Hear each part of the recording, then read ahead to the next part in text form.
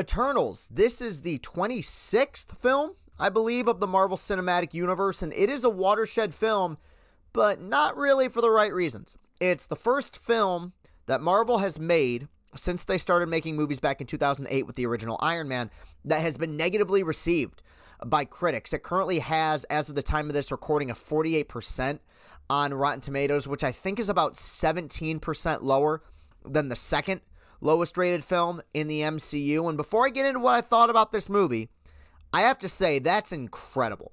Regardless of what I think about this film, the fact that Marvel, 26 films, 20 something films into their development, almost 14 years into this process, has just now had a critical dud, just shows how good, how honest, and how consistent they've been with their filmmaking over the last decade and a half. I was not looking forward to this movie. The, the critical reception had something to do with that, but really, I just found the trailers uh, to be very off putting. Uh, the movie is directed by Chloe Zhao, who just won an Academy Award for her film Nomadland, a movie that didn't do a whole lot for me, though I acknowledge it was it was well made and it was really well directed. Now I'll say this, I found myself for the first part of this movie kind of digging it, and I was surprised that it was getting the the, the critical reception that it was getting. Uh, this movie looks great. Chloe Zhao has such an amazing eye for visual storytelling. There's some remarkable shots in, in this movie, some beautiful cinematography. Uh, she does a great job with her actors. I like this cast. I think that one thing that Marvel has done really an immaculate job of, sans maybe Brie Larson, is casting their roles. I mean, going back to the first Iron Man, where like I, I remember there were rumors about how like Nick Cage and Tom Cruise were in the running for the first Iron Man. It's like, can you imagine anybody else playing that role other than Robert Downey Jr.? They've done such a great job with that. And um, here, this is no exception. I think all these actors are well cast. I think all of them give very good, very emotional performances. The biggest thing I give this movie credit for, though, is that it swings for the fences. I mean, it is a big time swing, and it it really tries to do something different in the future, if Marvel wants to sustain itself, they will have to do things that are creative and new because we have seen these stories told many times. And uh, I have flaws with this movie, uh, many flaws, but I can't bring myself to hate it because the attempt is remarkably admirable. But sadly, that does lead me into the things that I don't like about this movie. Being different is not a mark of quality. I, I think I said this when I've talked about Zack Snyder's DC movies in the past, where, like, yes, Zack Snyder introduced characters into his universe that were substantially different than what we'd seen in the past. He gave us a Batman that used guns and shot people in the head and murdered them, and that is admittedly bold. Tell me.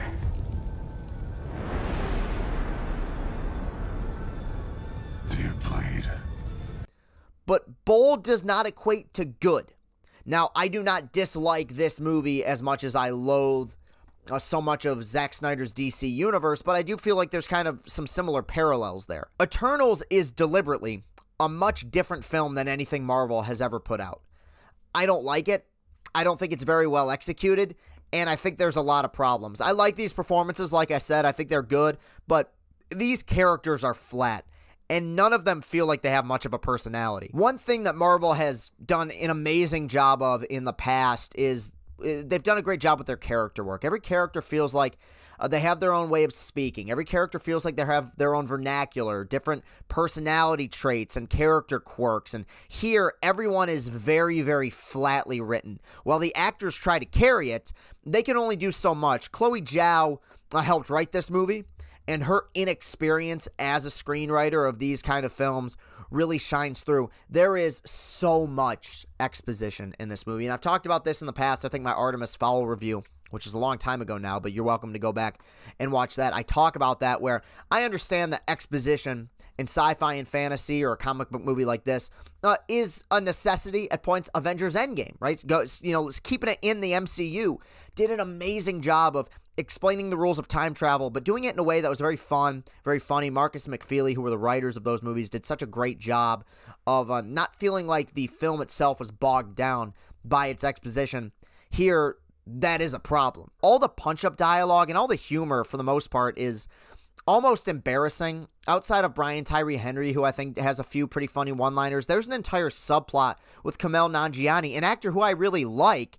Eh, His character is doing a documentary, and that subplot is very unfunny. It does not work at all. Now, with that said, I felt this way about the writing in Captain Marvel, and I felt this way about the writing in Shang-Chi, and most people didn't complain about those movies. So maybe this will work for you. Now, one of the big issues with this movie, though, and it's an issue that I figured I would have, and it's why I almost didn't even see this thing, is the bloated runtime. This movie is two hours and 37 minutes. And because of that, I, I can't believe that Kevin Feige greenlit this. I mean, it's such a it's such a lame duck of a movie, and I hate how high the stakes are. This is another we have to save the world story. Now, I don't I'm not opposed to that. But when Marvel did that with Avengers Infinity War and Avengers Endgame, that felt really earned. Uh, that was the culmination of 10 years worth of storytelling, which led to this huge universe altering event. They spent so much time building up to Thanos, building up to the conclusion of the Infinity Saga. Felt very earned. With Eternals, nothing about this feels earned. There are way too many characters in this movie. None of them are super fleshed out. It is fair to say that Marvel has a system. Marvel has had a formula that has worked for a long time. And to some people, that formula, and I, am one of those people, that formula has started to wear thin. But at its core, the things that Marvel has done correctly over the last 14 years almost of filmmaking are things that all films should abide by, which is that they get the character stuff right. The first Avengers kind of looks like crap. It's directed by Joss Whedon, who comes from a TV background, and that makes sense because that movie kind of looks like a TV film. And yet, that film is so much more enjoyable to me than something like this, which is beautiful and it has epic, sweeping cinematography, but it's dull. It's lifeless. It's boring. I know I use that word so often. I've talked about it many times.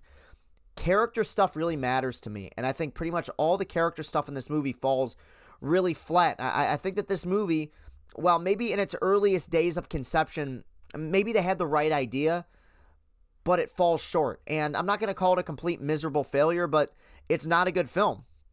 With that said, before I get to my rating, I like it more than Dune. And I know people are going to hate me for that, and that's fine. But, like, while this movie has very banal, very lame character development, there is at least an attempt to develop character where Dune was just such a flatline to me. Like, I, I still can't believe that movie got the kind of reception that it did. They're going to make a part two, and like I said, I'm not going to see it because I don't, I don't want to ruin anybody's fun. But yeah, Eternals, sticking to this movie, uh, did not work for me. I, I give Eternals a 4 out of 10. I don't hate it. It's not the worst Marvel movie. Um, it's in the bottom five probably. I I like it more than I like Thor: The Dark World, and I like it more than I like Captain Marvel because Captain Marvel wasn't well directed. Uh, here, uh, like I said, I think there's pieces of this that work, but as a whole, just doesn't do much for me, and and it's another uh, Marvel disappointment. Please just just let Spider Man be good. That's all I'm asking for. Okay, that'll do it for this review. You can follow me on Twitter at Castellani2014. While you're at it, hit that like button, hit that subscribe button. Let's get those watch hours up, up, up. We're very, very close to 2,000 subscribers. Let's get there, baby. Come on. Thank you very much for watching, everybody, and uh, enjoying my reviews. You guys are the best. Have a great rest of your day. Peace and happiness.